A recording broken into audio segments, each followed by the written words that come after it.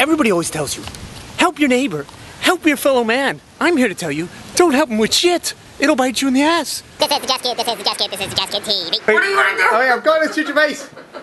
Yeah, this is my Jeskid TV thing. You always put it like so close to What's wrong? what is wrong with you? Look, you know what you did? You know why you're in my apartment? Do you know why you're shooting me? You're shooting me because you broke my thing. The What? CD DVD thing. I broke it? you broke it. You went in there to do jingle it and jangle it and I told you not to. What am I fucking Santa Claus? Jingle jangle.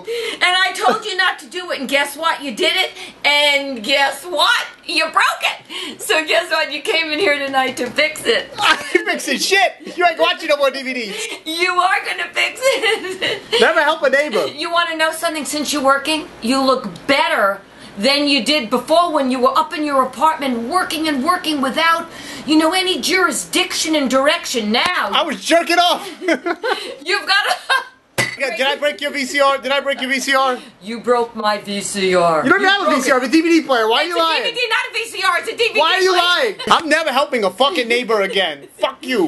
Get, oh, turn off that equipment now. What, what is it oh, like being my, What is it like being my neighbor?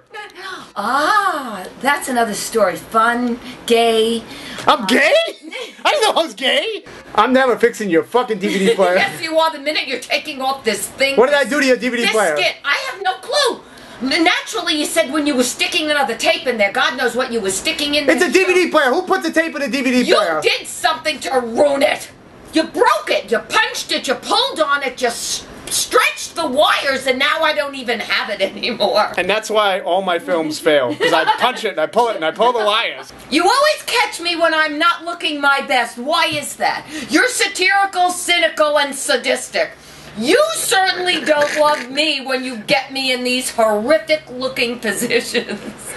I hate you, matter of factly. Show me the show me the fucking evidence of the DVD player I broke. Show me.